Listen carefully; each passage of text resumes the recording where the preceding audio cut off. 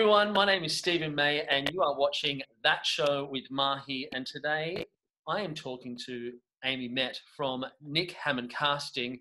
Amy, welcome. Thank you very much. Hello.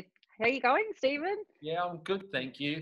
Um, thanks so much good. for joining me on the show. I guess I've created it in the sense of mm. trying to, I guess, open up the industry in a, in a way that we can all sit back and, you know, ask these questions. And a lot of people ask me questions. Totally. You know, we're in the industry and we're working. Um, I guess a little bit about you're a casting director. Um, tell me mm-hmm. a little mm-hmm. bit about like what a casting director is from your point of view. Yeah, well, we're that middleman. We're that person that you know the director, the producer um, comes to us, and you know we try and source the best cast possible. So that's our job to sift through the suggestions and um, you know get as many suggestions as possible and sift through them and do our part by not only getting the suggestions but also going through our own database. Um, and that's not to be confused with the database where we represent people. I think a lot of people that are starting out think that casting directors are agents but it's not the case. So we've got our own database so we can keep track of freelancers and you know, all these kind of people that we want to make sure we're looking under every rock um, to make sure we're getting the best in. Um, and then that way the director doesn't have to do that part, you know. So we're mm. there to sift through that, get them in, show, and and hopefully, you know, find someone that they that they really like, and then do the callback stage, and then go from there. Yeah. So I it's a it's a it's a good part to find, you know, find those gems. Yeah, yeah. Um, you say you've got your own database. Now, is yes. that a database of people that have contacted you um, via if, if they're like yeah. a freelance actor, or is it like if they've got an agent and they've been submitted? And I think there's going to be a, two parts of the question. I've got an agent, mm. I and I get submitted through my agent to them. Uh, now, is that sort of generally the the main way that you castings are done? Yeah, yeah, so our database is full of, you know, people that are represented and not. And that way, especially for those that are not represented, if we have you on our database and then we do a search like we would on Showcast or Casting Networks, yep. then we're not missing you. So this probably, you know, stems to you sending us your information, especially if you're not represented. So we can um, put you on that database and get all your contact details and all of that stuff that we need to reach out to you. So it's really important that you do reach out to all casting directors um, being non-represented and get them your info. It's the best way to do it. How how would I do that if I wasn't represented? What do I just like knock on your door and be like, "Hey guys, how you going? Uh, yeah. don't don't knock on our door. okay, yeah. I think no, it's it's it's a, it's a, it is a bit random. Honestly, there are a couple of people. It seems so old school now to knock on the door and go, "Hey, here's my printed CV and headshot." That's useless to us. We will probably shred it. So everything's online. Just email us, get your agent you know, obviously if you don't have an agent, they'll um, email us with it and then we can put that information on on file, so to speak. So it's just an area where we can have all your details. Um, so, but we really enforce that. We, we've got a, I think most casting directors have like a like an admin email where you can send stuff to, like an agent would, like submissions. Yeah. Uh, we've got one that's on file at nickhcasting.com. So if you email that, we go through that email, put all the information up, and then reach out to you if hopefully there's something to see you for. Yeah. And so would you suggest sort of um, like a show reel or a clip with, and then you know yes like so and slate that with you know my name's Stephen I'm six foot three um, you know, live in Melbourne and I'm like the basic details, but give give them something. Yeah, just see, not just like I've done like my amateur musical theatre society show for the last ten years, which is great. That's the yeah, experience, but of course, that's not going to. That's not what you are after. Like they need. Do you need to see them doing something?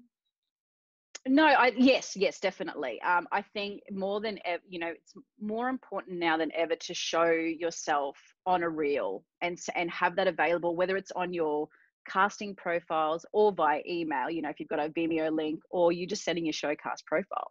I mean, you pay so much for this profile, you may as well you can email it straight out to agents and casting directors. You may as well utilize it. It can have all your credits or your headshots, multiple media mm. you know videos whether it's voiceovers um, reel your little sizzler um, accents like there's so many so many videos you can upload so if you can package an email with just a link that says hey i'm stephen mahy um, melbourne based here's my showcast profile then that's all we need yeah. you know you don't have to fill this email up with all this information there's a chance that we're not going to read it all you know like it's yeah. you want to be really snappy and really you know uh, just really quick i suppose with what you got to show yeah um, yeah, if that makes of, sense. Yeah, a lot of castings, I guess, actors can get inside their head and thinking about the process and how we do it and, you know, what is the right thing to do it is such a quick turnaround. I mean, you guys get a project and it can be a matter of like 24 hours and the cast are kind of not the last thing to think about, but they're, it's a, it's a very quick process. Totally. Mm. I guess what's, is there something like the top three advice of things to, that you want actors to hit in the room? Uh, I mean, the, the, this could be a whole lesson of like how to how to tape and how to cast. Yes. But, um, because the, the, next question will be what not to do. Um, but I guess totally. you know to encourage and stay positive and moving forward. How can we? What is just the top three things you like? You know what? If you get these things, these three things right, I think the others will start to to follow. Absolutely, absolutely. So, kind of my tips are so it always actually starts from when you get the booking. I think so when you get the time and your agent sends you the details, or you know you freelance and you get the details directly through us, yep. check all the material first. So sides. There's always going to be a script, regardless, especially in TVCs. Majority of the time, you're probably not going to have any lines. It might be a visual thing. Yep. So check that there's a script because if you come in and you don't know what you're auditioning for, that just says speaks volumes of the kind of person you're going to be and how reliable you're going to be on set. So it's really important that you check there's a script. And if there's not, ask your agent. Um, and if the agent doesn't send you one, then like it's their partly to blame. But I think that it has to fall on both. You have to ask. Yeah. And if there's not one, then great, you've asked. But um, at least know what your what your role is about and what you might be doing. You're probably not going to know exactly what the blocking is going to be and all that stuff, but mm. you're going to know the gist of it. So that's so important that you come in ready to go and knowing what you're doing. Yeah. Um, two, which is really kind of common sense stuff, is if you're late, give us a call. You know, um, we want you to be on time so you aren't stressed in the waiting room. There's nothing worse than coming into a waiting room and sitting there with people that look like you. I mm. mean, you probably experienced that feeling, right? You're like yep. you're all dressed the same, you look the same. It's a bit awkward. So you coming in rushed and panicked and probably parched. I mean, it, so, it sounds so silly, but yeah. you know, coming in, getting a water, all that stuff, sitting down, uh, you know, filling out your form, it does help.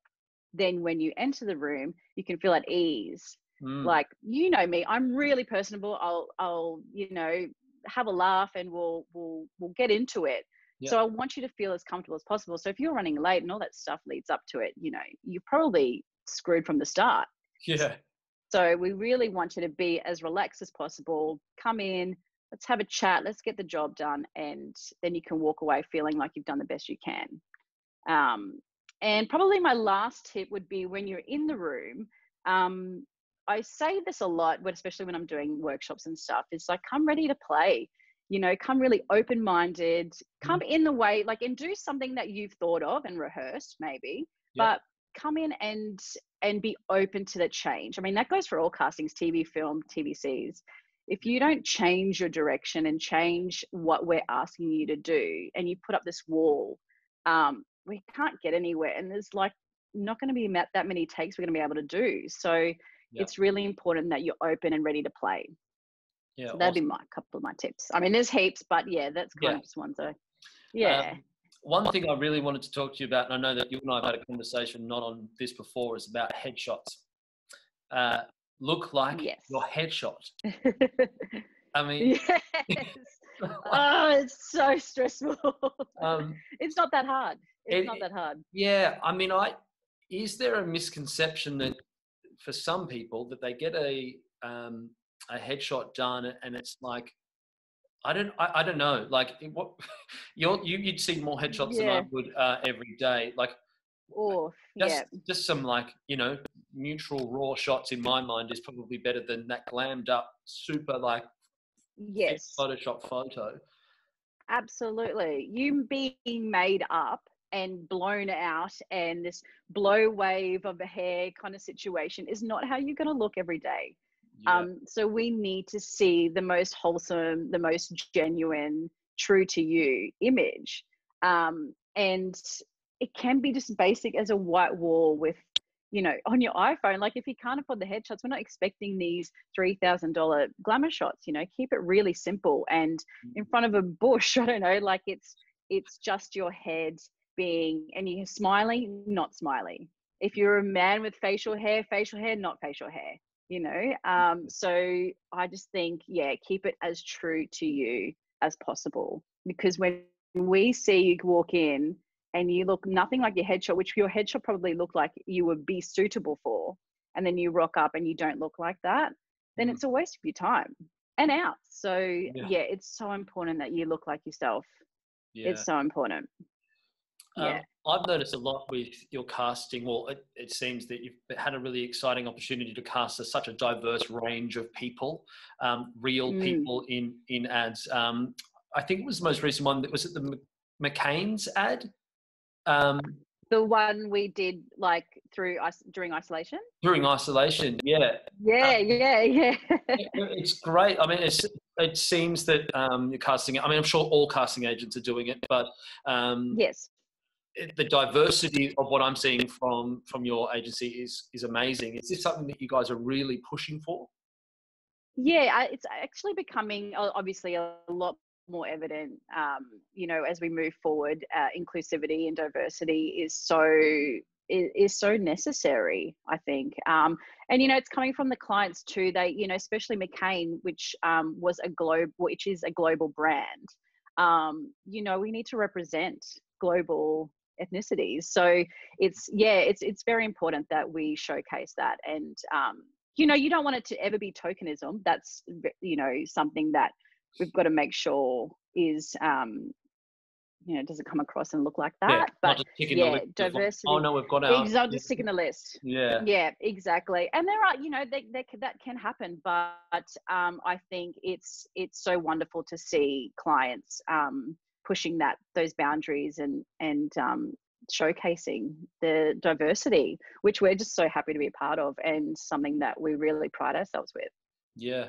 so Now- it's good yeah I, I come from Sydney and I'm living in Melbourne now. Mm. Um, and you know this sort of rivalry that you know Melbourne is better than Sydney or Sydney's better than Melbourne.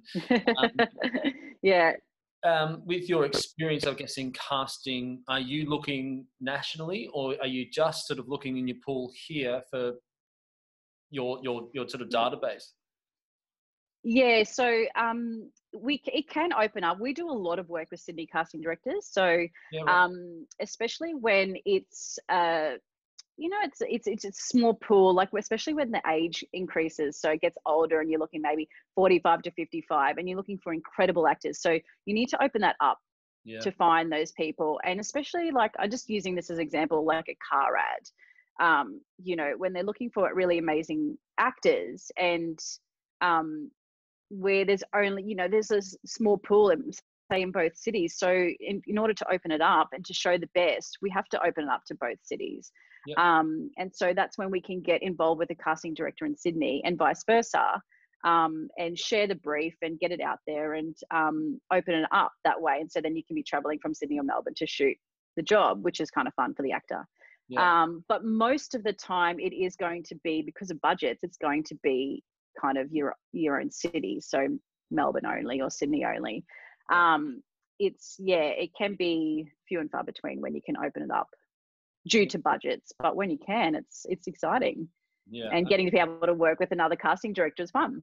I love it. yeah, for sure. Yeah, Um, yeah. um, we could have a whole workshop, and I'm sure you do do workshops. Um, do you have Yes. one that you're doing at the moment that you want that you can people can contact you on, or is it sort of just isolation is really um, restricting you?